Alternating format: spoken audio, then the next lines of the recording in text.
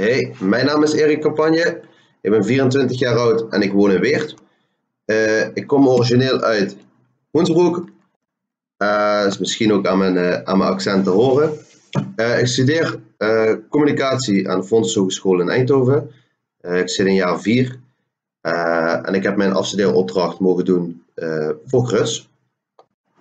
Voor Gruts ben ik aan de slag gegaan met het vraagstuk in hoeverre communicatie kan bijdragen aan het koppelen van eh, het erfgoed van Noord-Brabant eh, aan de millennial.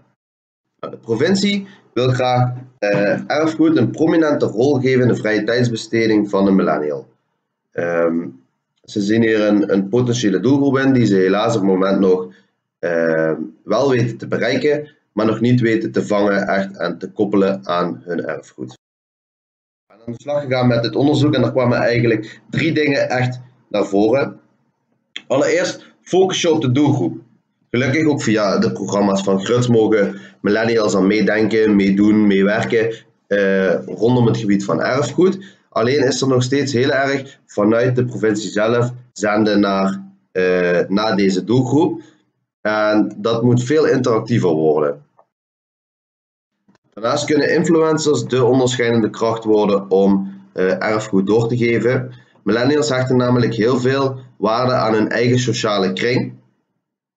Uh, en door deze eigen sociale omgeving te gaan inzetten, um, zal influencers geaccepteerd worden en het authentieke verhaal waar erfgoed natuurlijk om draait, kan worden doorgegeven.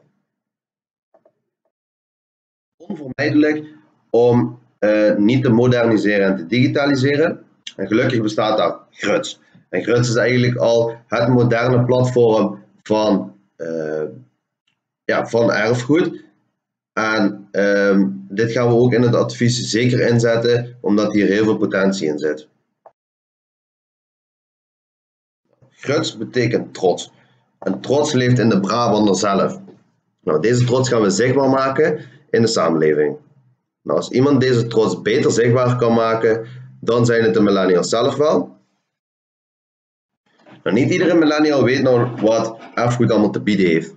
En daarom is het slim dat de provincie eerst zelf deze millennials de provincie in gaat sturen. Ontdek zelf wat erfgoed allemaal te bieden heeft, want het is meer dan alleen maar een statig monument of een gebouw, of het heeft zoveel meer te bieden.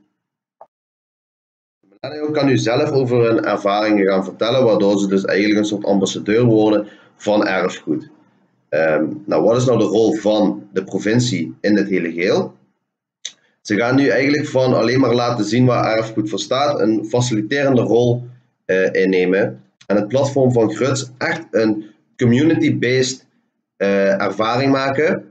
Uh, in de hoop natuurlijk dat millennials hun vrije tijd gaan besteden bij dingen die ze op ons platform hebben gelezen. Dus eigenlijk dat het platform van Gruts een soort TripAdvisor wordt op het gebied van erfgoed. Nou, om deze community op te starten moet je natuurlijk zichtbaar zijn. En zichtbaarheid, ja, dat gebeurt niet vanzelf. En daarom heb ik een guerrilla-actie uh, voorgesteld. Nou, een guerrilla-actie is een ludieke manier om uh, eigenlijk heel snel zichtbaar te worden en uh, bekendheid te creëren. Jullie denken misschien, waarom staat al de hele tijd deze gekke redder met die muts op zijn hoofd? Nou, dit is de grutsmuts.